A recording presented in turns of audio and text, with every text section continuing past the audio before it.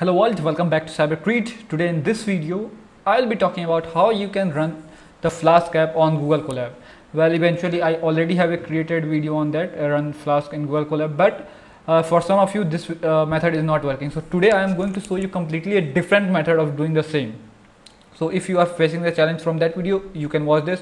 Or if you are just new, you want to host uh, your Flask app onto the Google Colab because it's free to use you can do that. But if uh, you want it to be persistent for like a week or even a year or a month or like that the flask one is not going to provide you that.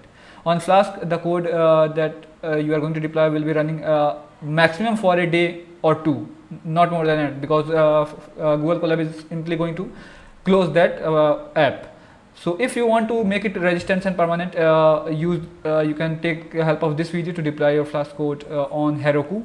Uh, uh, uh, if you use that method, it is going to be there for a year or until you just simply delete that. So now let's start this video.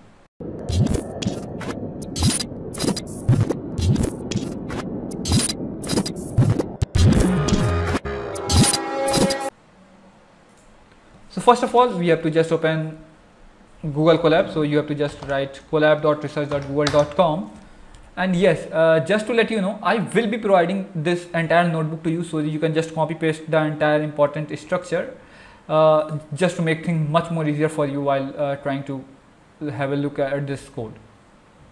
So at the very first, uh, let me just uh, rename it run on Colab so you can run your flask app or even you can run your django app too. But because this matter is just common you are this in this matter what we are going to actually see is how you can simply connect the ngrok to the flask so that you can serve uh, and you can provide a basically a url that will help you to connect to this particular server or whatever you are going to simply run.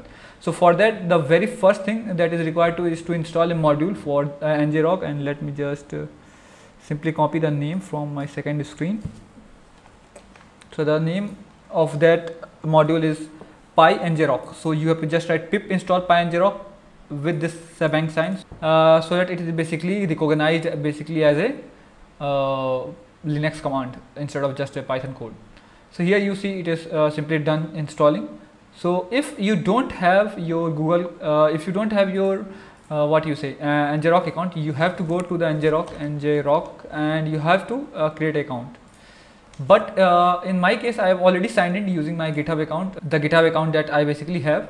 And here is the auth code. So we will require this auth code. Uh, you can simply if you have already the auth code it might be possible that it, it uh, might fail. So you can just simply go to this reset auth code and you can click here and you can reset that. Uh, let me just reset and let me show you. So it have been sim uh, simply be resetted. So what you need to do first First, uh, let me just simply import all the required modules. So here I am going to see uh, tell you how to simply run your Flask app. So I am importing the Flask and simply from PyNgrok I am importing ngrok because that is where we have to do the configuration for our ngrok. So it is very pretty easy to use. So uh, the first step is to ngro okay dot set auth. So uh, the first step is to basically set your authentication key. So here you see set auth token. Here you have to simply paste inside the double quotes. Uh, just remember this double quotes. Inside the double quotes you have to paste uh, this auth code. You simply copy it from here paste it from here. So it is going to simply uh, generate an auth code. Then you need to get a public url the url by following which you can simply access your uh, app so for that you need to let's say let me just simply copy. It will be much more easier.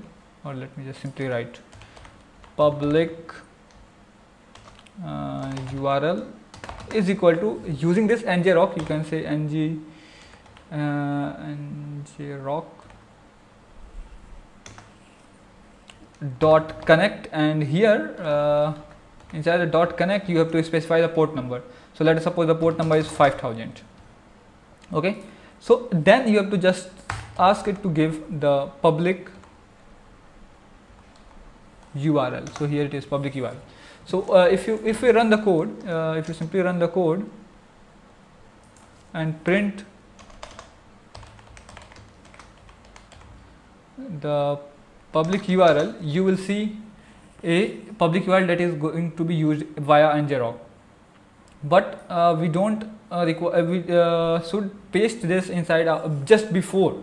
So let me just show you. So if we are going to run this code again and again this public URL is going to change. So just make sure while configuring your flask app you have to use the latest one. So what i have did here is the sample code that i have of the flask. Uh, let me just paste it here.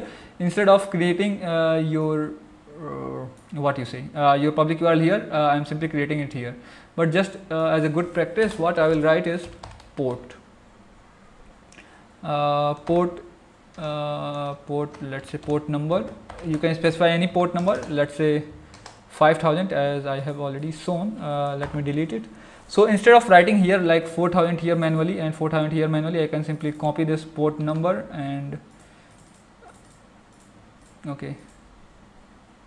And I will simply paste it here port number here. Uh, here so let me explain one very important thing here first what we are doing we are initializing the flask app and then we are setting up the uh, auth code that we simply copied it from the ngrok so till here we have established the connection with the ngrok. Now what we require to get is the public URL via which we can simply access our Flask app or Django app whatever you are trying to run.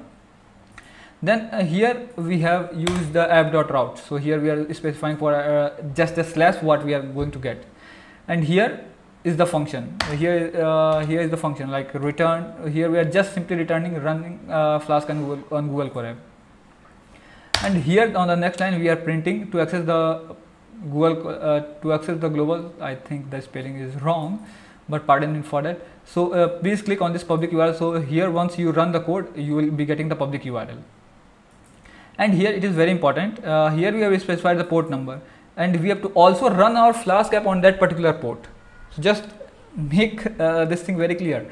Uh, the port on which your Flask app is going to running is going to be mapped with the port for your ngrok so that is how they are they will be able to connect. If one have port number 4000 and one have port number 5000 this is not going to work. So with that said with all the codes here and here uh, let me just simply run the code. Okay i think the port number i haven't defined it yet. So here you see uh, to access the Colab, please click here uh, because we are printing this public URL. That is why uh, it is required to print the public URL or else you are not going to get it.